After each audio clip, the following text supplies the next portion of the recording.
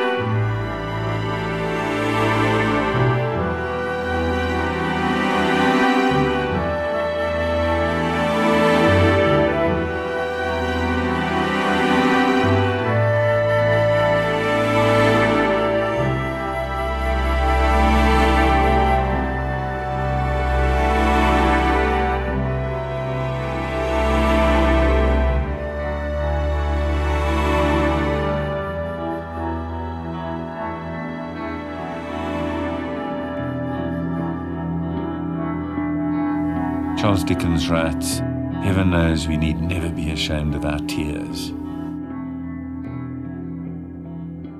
For they are like rain upon the blinding dust of earth.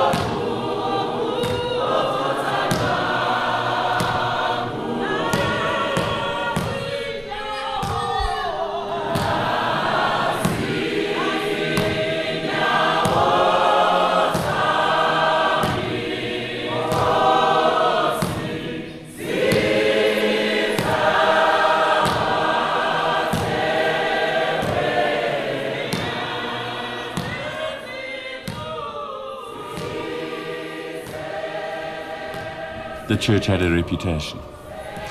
And what I started discovering over here is people coming to my waiting room and they had uh, come, let's say, let's use a specific example from Zimbabwe, uh, had left because they felt endangered, uh, felt that because they were in the opposition, their lives weren't safe, and this was the best place to come. Would arrive at Park Station and found themselves being dispossessed of everything they had certificates, clothes, money, anything. Um, and would eventually end up here. And I would have grown adults coming into my office and just dissolving, desperate. As safe a haven as it was, it also incurred the anger of the authorities because it began to be seen as a center of resistance to the way the government was handling the whole issue of migrants and particularly refugees. Let me speak very personally and say what motivates me is that my engagement with people, in, in a sense, in a sense, leads me to what the truth is.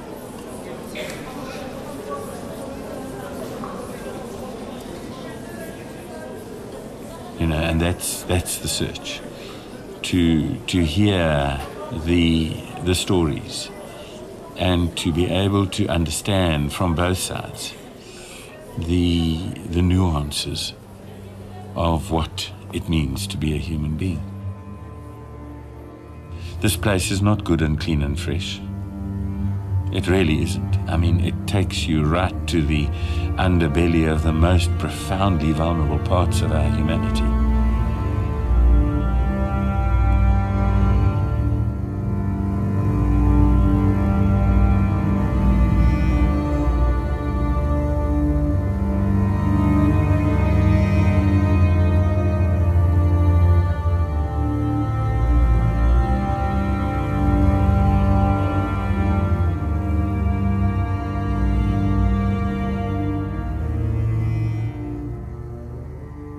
Could see that my life is actually in danger. And I couldn't continue forcing myself to live in Zimbabwe. One way or another, I had to call it a day. I had to leave everything I had. Um, for the, it's, it's of no help to say, I'll help my kids when I'm in a grave. How are you able to help your kids when you're in a grave? So I would rather run away to another foreign country and start a new life. But if I be humble, I can be honest with you right now. Uh, I would rather be in prison whilst I'm in Zimbabwe than the whole life of South Africa. Uh,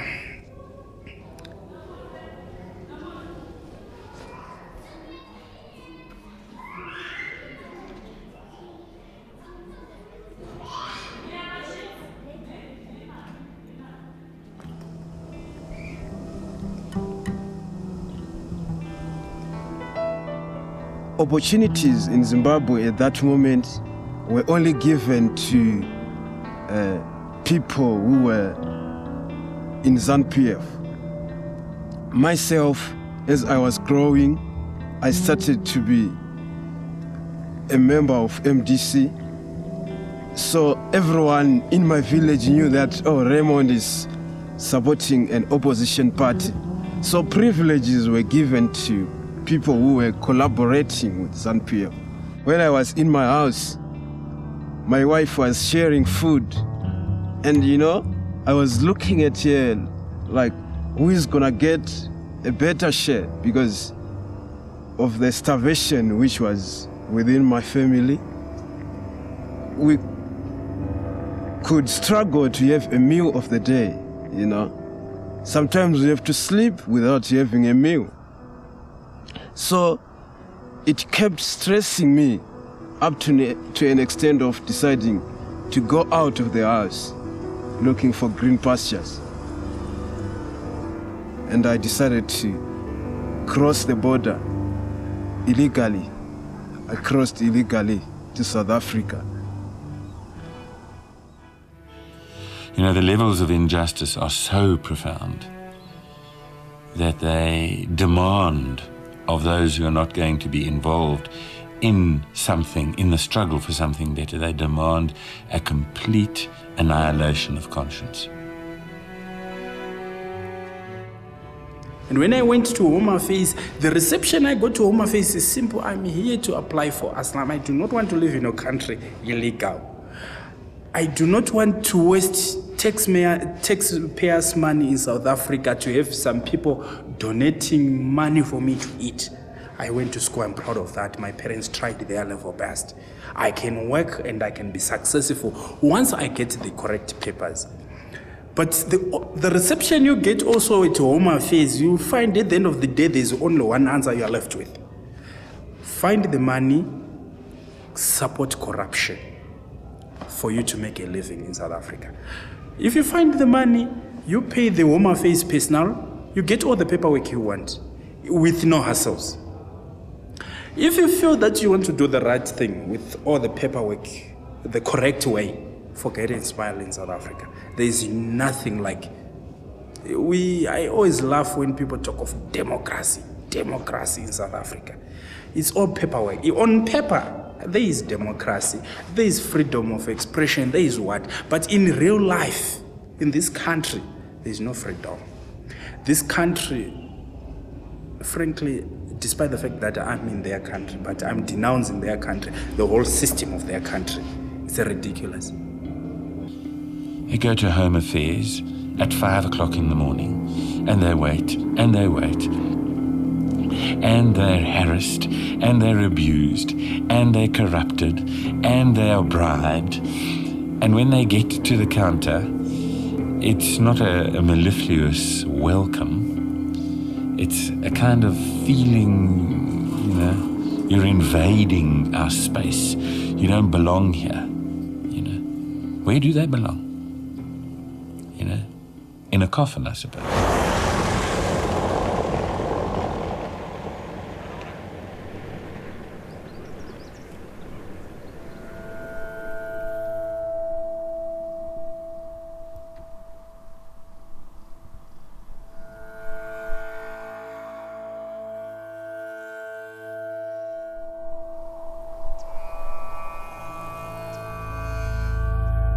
Actually, I had to come to South Africa because of uh, political reasons. Like, I had to join the, the opposition party in Zimbabwe, which is MDC, the time when I was still at school. Then, actually, we wanted to try and change the situation which was in Zimbabwe at that time. So then, it turned difficult for us, the school kids by that time. So we tried to run to South Africa for, for our own safety. Since when I came here, actually, things never got well for me and me thinking that I'm hiding from the ruling party. These guys they to follow me one night when I was sleeping at my place where I was renting. Then they to come over the night, they to knock on my door. After when I refused to open the door, they to forcefully they open the door, coming inside. They started by hitting me, fighting with me. Then they finally dragged me out of the house. And they tie my hands and legs with wire and they put some dirty rags at my bag inside my clothes. They had to pour some diesel. After pouring diesel, then they light it on, burning the whole of my bag. Actually, the way they tied my my my, my legs with wire and hands and burned with diesel, actually, it is not a thing that they wanted me to to survive. Actually, they wanted to kill me. It's quite obvious.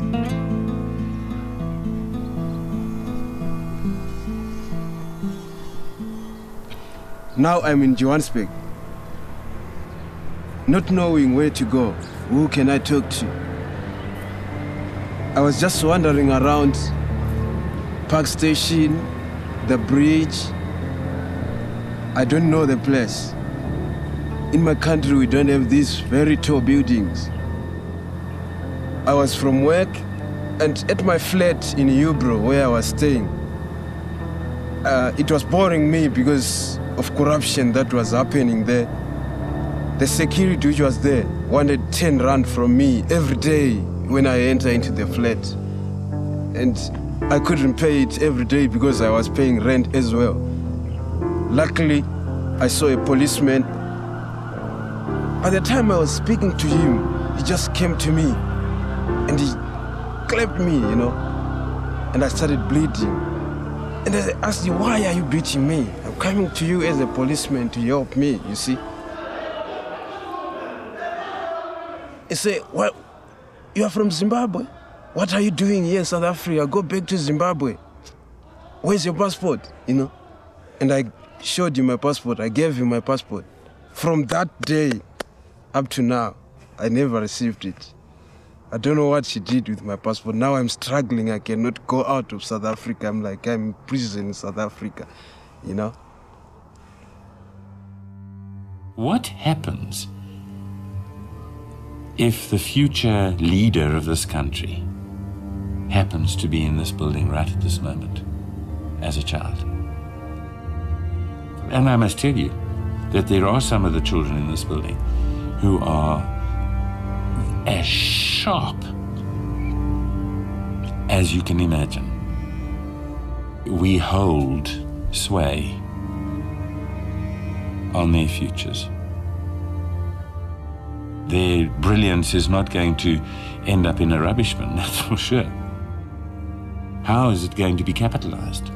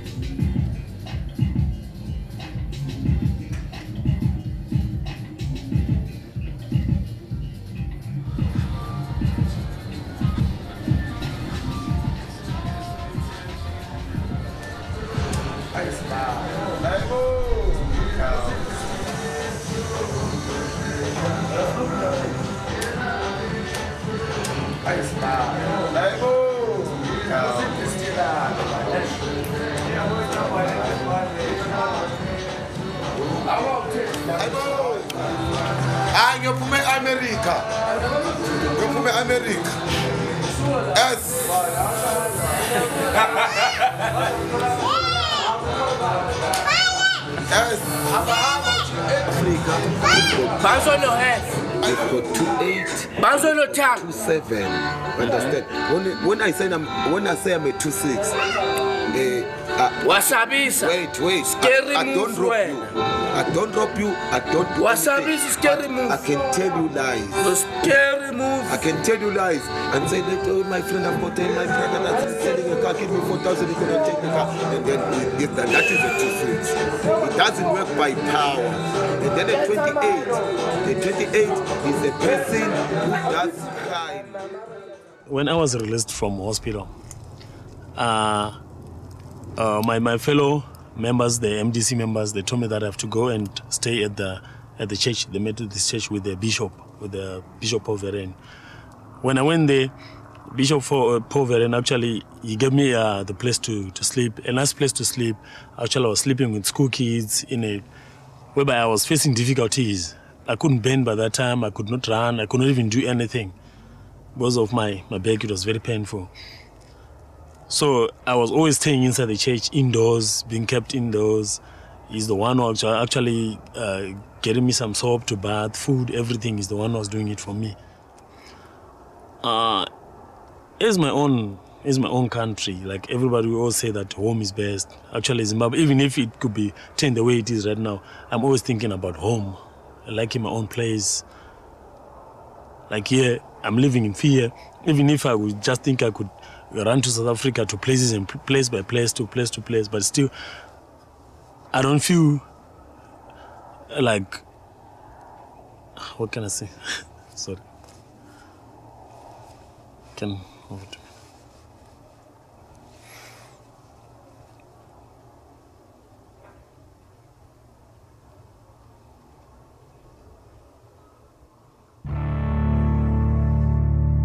Isn't it true that some of the most profound intellects have their offices on these streets? You know, the scientists, the dreamers, the poets, and some of the most depraved criminals walk on the same stones day in and day out.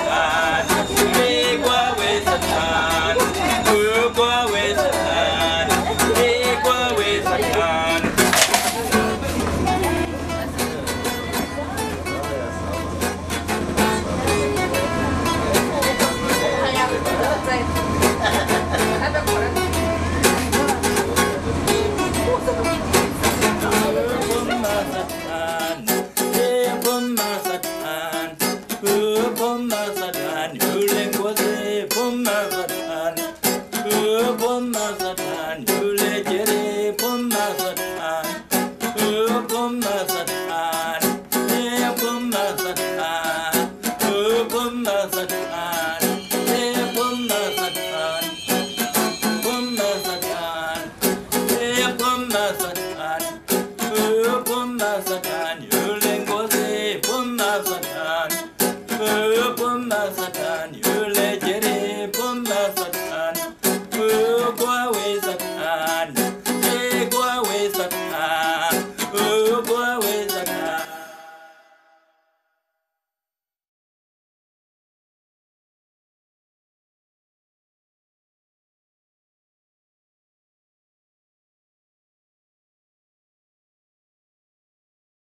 Actually, wh- what I was thinking about my life, actually, it changed uh, the moment, uh, the day, the time I was banned. Uh, right now, I cannot even know what am I going to do tomorrow, because I cannot even work for myself. I could even try to do a lot of things on my own, but I could find it's very difficult for me to do it. I had to rely on somebody now to do it for me. And actually, that person to check on me, it's very impossible because he'll be also looking for his own life. So right now I'm just running away from something that I don't really know exactly what it is. Because actually I'm running away for somebody whom I don't see, whom I don't know.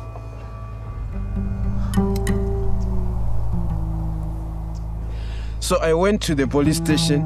I opened a case uh, uh, about that policeman because I I wanted my passport. You know, I was worried about my passport because I knew that they were going to arrest me. You know. So I opened a docket.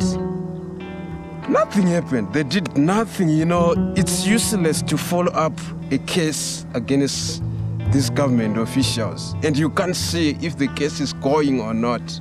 By the time I was going back to the police station doing a follow up, they even told me if you keep on doing this, coming here, trying to arrest a policeman, you are going to die before you go back home. Down the line, I spent about uh, very few weeks, less than a month. I met with those that crew from Hillbrow police station. They arrest me now. Why? Illegal immigrant. But I had a proof that I opened the case. The policeman took my passport. I had an affidavit, case number, everything. I'm showing them. They say, Oh, you want to arrest a policeman? Oh, they beat me, they kicked me off. You see, they arrested me for about four months. They take, took me to Sun City. It is a big jail, which is uh, that side of Soweto. And I didn't feel well comfortable inside there because of unhealthy living conditions, you know. I think we live in a context that nurtures violence. That, whether we like it or not, sanctifies violence.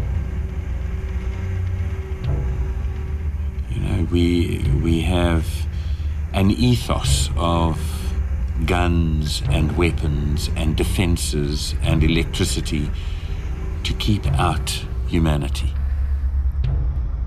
I think that projects into a place of viciousness being normalized.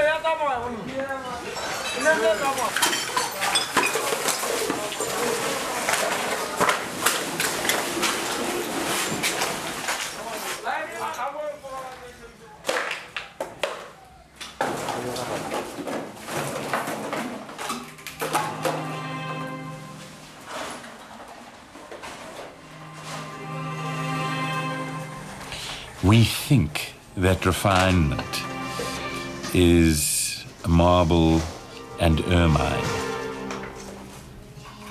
But in actual fact, true refinement is to be found in the dignity of a person who lives on a step, but has an expansive humanity that imagines something different. Um, I've always been the type to kind of go straight into something and really want to experience it firsthand. So experiencing the inner city became kind of my primary priority almost as, as soon as I, I moved here. Then comes the beginning of this year and I said, why not um, look at staying in another building that I wanted to research, which is the one in Doornfontein. And that's a, it's an about, well, it was an, a warehouse where the same sort of thing happened it's a, a company went bankrupt, and then people started moving in, and nobody stopped them, and it's impossible to evict them now without a court order because it's over six months, etc. Um, so now, I mean, it's what's they. Some people call it a shack farm. Um, some people simply call it, you know, I mean, you divide up the spaces, and it's literally shacks built without roofs um, within the building. So it's uh, families staying in one small unit. Electricity is free because it's still an illegal connection, but uh, and they don't have any running water. But to cover the cleaning and security, it's 100 a month.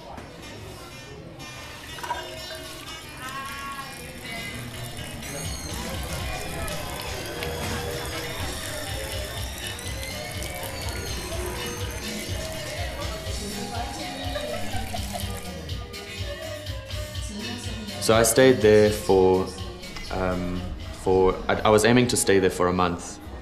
Um, I didn't make it past a week. It, it was really hectic and basically, I mean, I and I, it's not like I don't. I have a, quite a high threshold in what I can handle. Um, but that that was a hectic building. I could handle everything. The the worst thing was the bed bugs. Um, I just I simply I, I, I erupted in like you know they were, they were all over. And people were asking me what's going on? You know because I was still working at the same time and studying. So it like you know I'm operating in this very different life.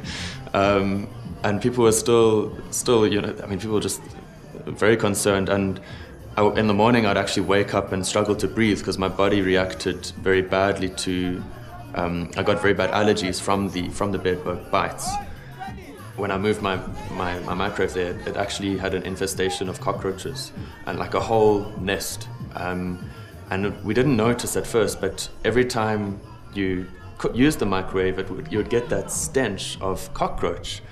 But I mean, the problem is that people bring their children with them. And so then, and the children do not have a choice um, of whether to stay there or not. And the health conditions that some of these kids are subject to it's it's so bad. And that that's what made me realize that actually you do have to have some sort of government regulation. There needs to be some sort of intervention. And it's not necessarily to say that gov- that you are not allowed having communal spaces to rent. You're not allowed having these rooms or spaces to rent. You're not allowed having some kind of informal rental market. But there needs to be some sort of intervention. There needs to be some sort of normative value placed to say this is the bottom line which things cannot go beyond.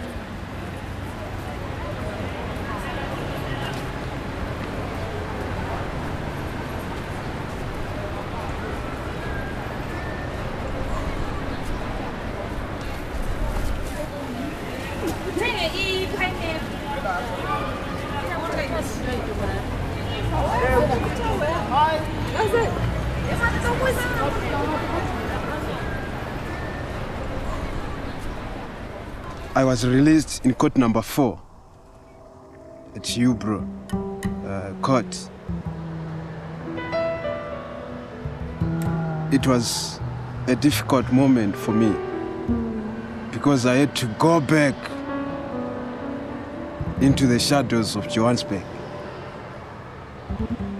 I, I had only a small bag that one of my friends gave me in the cell because I had nothing. Just to walk around again under these very long buildings, trying to connect again with new people. We're living like Moors. You know what Moors do? When the soil is moisture, after rains. That's when you see moles playing on top of the ground. But when the sun comes, you see moles hiding because of the police. They are looking for money from us. It's not easy. I have so many challenges of I can't find a better job here in South Africa because of xenophobia. I don't have money. Just imagine an extent of struggling to find a meal of the day. I cannot communicate with my son. I spent a very long time without talking to him. I don't even know what size of a shoe does he wear. Where is he going to sleep? What is he going to eat? You know? I don't know. I can just say I'm a father, but who is taking care of him? Women are vulnerable. The gentle are vulnerable. The dispossessed are vulnerable. The weak are vulnerable. And we've got to be very careful of all those categories because, in actual fact, that may be where our strength is. It's incomprehensible that you can be so immersed in the profundity of what is happening to human beings in this inner city. And the rest of the country is completely oblivious.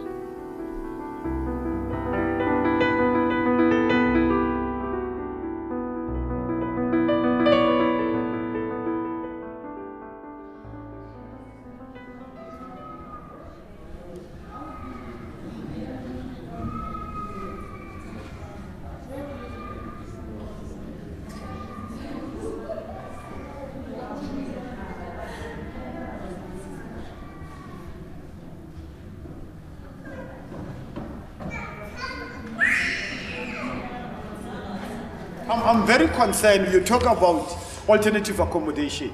I'll be happy if in this building one can say he has been given an alternative accommodation. You know, I'm from magistrate court now uh, as a human rights activist uh, in Roodepoort because our program is that we- we need to we need to in, intervene with courts because last week Friday I have meeting with seven magistrates uh, talking about this eviction. The question is, section 20, section 26.1 and section 26.3, that says good, no people must be evicted without alternative accommodation. But people have been evicted without alternative accommodation. You see here in town, people, their goods, the, the fridge will fly from ninth floor to ground floor. TV will fly from 11th floor to ground floor. The question is, in, in, the, in, the, in, the, in, in township, people have been given RDPs. But in the inner city, people when last time they've been given building, to own building. These people are renting for more than 30 years. How long are they going to rent? If these people died, their children are going to swear them at the graveyard. But my father and my mother were useless. You never give me a shelter. I think this is very important, Biro. We are talking about the life of the people. We must talk seriously here. You know, I'm always in court every day. I'm seeing what is happening in court, Bishop. It's a shame and disgrace. This is what not we are fighting for. On a serious note, Bishop. Thank you so much. So we're sitting in a city where we have large numbers of people below the level that we can service that are living in uh, in places that are not fit for human habitation. They are destitute, and they are living in uh, in areas where I'm surprised we haven't had major outbreaks of disease. Um, people, there are no toilet facilities. There's no running water. Um, there are rats running around, garbage, sewage all over the place. I mean, little kids in their nappies running around in this environment. And the sad part about it is that, you know, people have this perception in their head maybe that these people are, are they're bad people, and in fact, it's not in the it's not the, not the case at all. Uh, the bad people are probably the, the hijackers or the slumlords are controlling the buildings, but the people inside, uh, I mean, all they they're all always poor. And the problem is that that onus has really fallen on council and government to service that sector of the market because the private sector can't get in there because the model doesn't work. Um, the the problem as well is that uh, these people living in these conditions are not paying nothing for living there. The, whichever gang is sitting downstairs with their guns and whatever else, and we've certainly experienced that a few times, um, they're quite violent, they're aggressive, and they're there running them, as, running these buildings as, as businesses. And um, you know, these people are paying anything from 600 to 1,000 rand a month to live in this absolute squalor. Uh, there are no services, there's no cleaning that takes place, um, and if they don't pay, typically they would probably be beaten up and thrown out. So you know we need to we need to be able to address this this sector of the market. Uh, look, the, you know at the same time, I guess you've got to understand that the council and government are faced with huge problems. Um, and I think as Joburg Ratepayers, we face big problems because there's this massive influx into Johannesburg, not only from the rural areas of South Africa, but all the way from all over Africa. You know, the, the problem is that um, we're dealing in a situation where if council and government are not addressing the issues, and the burden is falling on the on the property owner. Now you have a mix of rights. You obviously, there's a there's a right to housing, but there's also a right to property ownership, and that if you own the property, you're entitled to have your property. So you're kind of mixed up in this this, this social in the social fight that's taking place, and it's really I think coming out of uh, lack of delivery from government and council. I mean that's really where the problem starts. The uh, you can't blame the property owners for emptying their buildings out so they can develop them uh, and to, to minimise their losses on these properties. And at the same time, you've got to wonder where do these people going to go next when they do get evicted. The last factor I believe very firmly in is that government and council need to make it attractive for the private sector to step into this market because on their own they're never going to fix the problem. But in inner city, it doesn't happen that way. You call police, they'll come with 21 cars from different police stations and say, everybody out. When we say everybody out, and then obvious the tenants, all of them, they're going out. Then the police go inside. They take TVs, they take money. Some of them, they find them in a bathroom. They, they assault people nakedly, Bishop. You know, even rape them. You know, I mean, what kind of society that are we living in? So again, now these police, end of the day, what are they going to do? They are going to say, uh, we are here to make a handover. You know, that handover, leaders, if they are leaders within the building, those building, all of them, those leaders have been arrested for no apparent reason. Now, what is happening? The police now, I can call the range of police here. They are what do we call it fabrication cases. Now they don't want to go to court anymore. They'll say somebody's hijacking the building and collecting the building. People have been charged with serious allegation.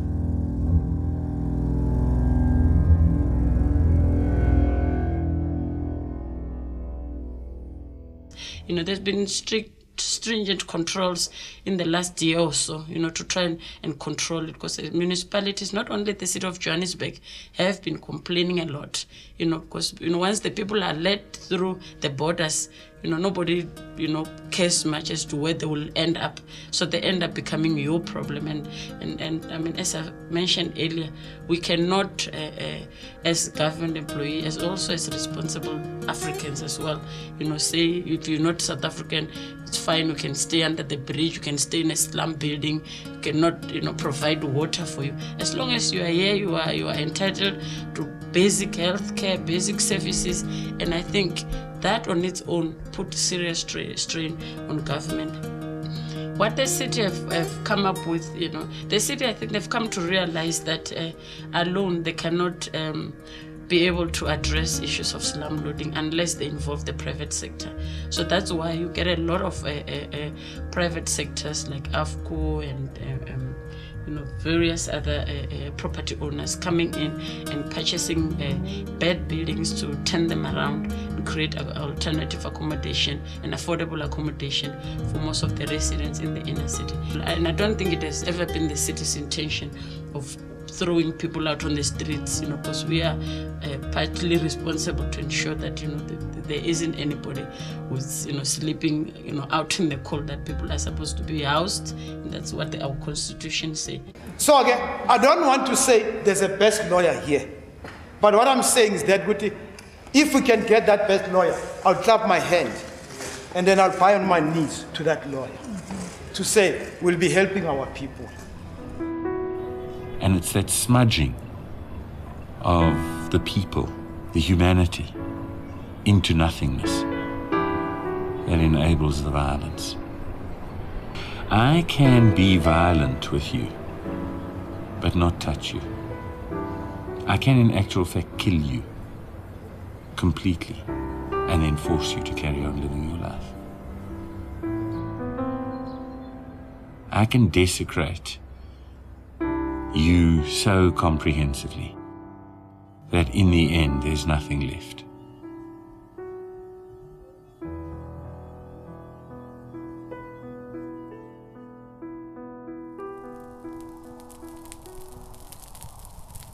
If South Africans they could realize that foreigners they're also people, they also belong from somewhere. Okay, they come to South Africa only because of difficulties in their country. So the things they should understand about a foreigner, actually taking that person as a human, somebody who lives, somebody also talk like them, somebody also want uh, rest like them as well. Because I just come here next door. I'm the worst enemy, I'm the foreigner in South Africa, and I don't know how do they see me as uh, up to an extent of killing me, you know. So I, I just I pray for them as well, so that they can proceed. God can provide them what they want, you know, so that they will not beat me as a foreigner in their country.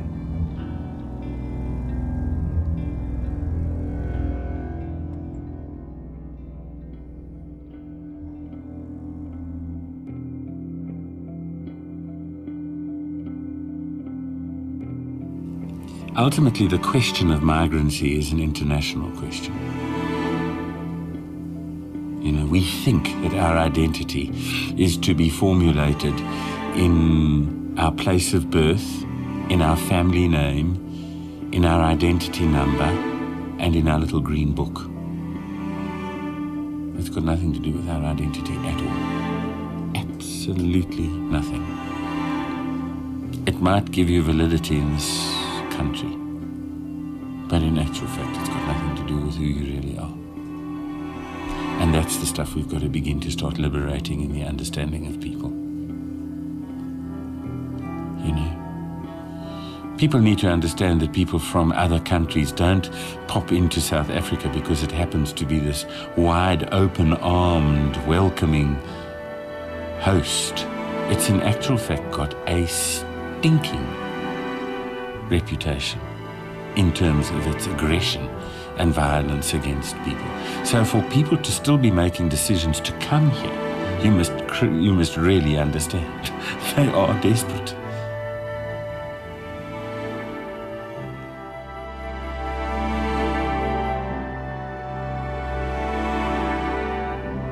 Then that means we, the majority of Zimbabwe, were suffering because of the bigger chefs of Zimbabwe. If you are now forced to come here in South Africa, hoping to say we can start a life, then what do you get?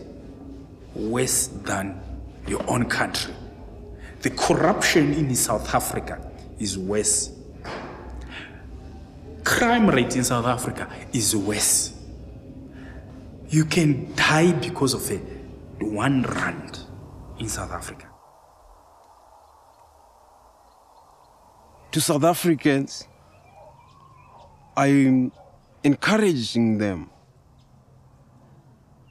to understand the sense of humanity. No matter where this person is coming from, there are push factors. A man cannot just be crazy to go out of his mother's house, going to another place. Home is best. We are all human beings. There's no need for them to discriminate me. I become worried when they say, You foreigners go back home. What do you want in our country? They beat us, they kill us. Right now, my mother, she's alone with my own son. And that she's facing actually difficulties because I don't have time to go and see my own son and see her as well. I, for that boy, actually, I got lots and a lots of dreams, but actually, I cannot make them come true.